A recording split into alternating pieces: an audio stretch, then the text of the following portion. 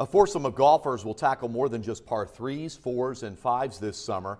They're the drivers of a group that hopes to bring new life to Rea Park's clubhouse in Terre Haute. As News 10's John Swanner explains, they're hoping members of the community will chip in so the park can continue to serve for years to come. It's a beautiful day to take in 9 or 18 at Rea Park's golf course. Golfers who've been playing here for years tell me conditions at the course have never been better. The same cannot be said about the clubhouse, though. Walk up close to it and you'll find numerous ways that it's falling apart.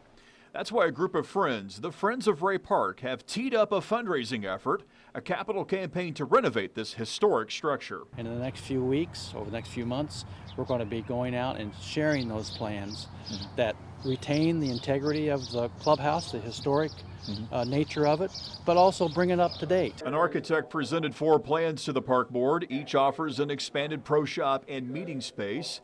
A couple offer a terrace space, ideal for weddings, receptions, and parties. If Rea Park's going to continue and not be in this shape ever again, we've got to put some kind of a functioning business in it. The renovation plans presented Wednesday night cost anywhere between one and one and a half million dollars.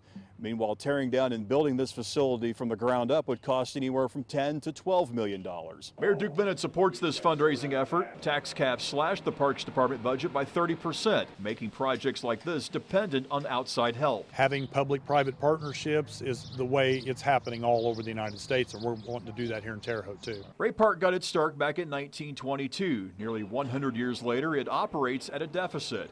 Along with the clubhouse, this puts the park's future in peril. People who come here hope something will be done to save it. There's a lot of potential here to uh, expand the services, but yet, uh, you know, uh, make it profitable so that we don't have this talk about closing golf courses. In Terre Haute, I'm John Swanner, News 10. On WTHITV.com, we have linked you to the Friends of Rea Park's website. There you can learn more about the four plans in consideration.